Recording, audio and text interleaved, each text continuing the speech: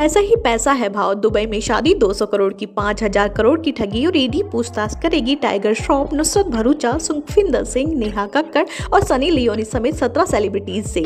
जी हाँ दोस्तों दरअसल सौरभ चंद्राकार, जो कि एक ऑनलाइन बेटिक ऐप के फाउंडर है और सौरभ चंद्राकार ने दुबई में फरवरी में शादी की, जिसमें दो करोड़ रुपए खर्च किए गए।